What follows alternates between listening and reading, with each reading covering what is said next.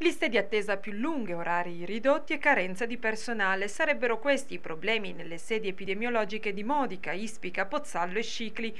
mentre a Modica, seppur tra difficoltà di una diminuzione del personale a causa dei pensionamenti, si mantiene comunque un buon regime di servizio, a Scicli, Pozzallo e Ispica gli operatori faticano a tenere il passo. Orari ridotti e personale all'osso mettono in difficoltà gli operatori sanitari rimasti, che cercano comunque di far fronte ad ogni evenienza e necessità pur di garantire il servizio. Il timore di operatori sanitari e cittadini, come segnalato alla nostra redazione, è che le continue riduzioni di personale possano portare presto alla chiusura delle sedi di vaccinazioni di Ispica e Pozzallo e ad un'ulteriore riduzione del servizio su Scicli. Le liste di attesa modica sono notevolmente aumentate e sono necessari anche due mesi di attesa per gli adulti per il vaccino della meningite C, su cui c'è stata grande risonanza mediatica per i numerosi casi dello scorso autunno. Se come temuto chiudessero altre sedi territoriali, si riverserebbero su modica migliaia di utenti a cui sarebbe difficile far fronte se non a discapito del servizio stesso.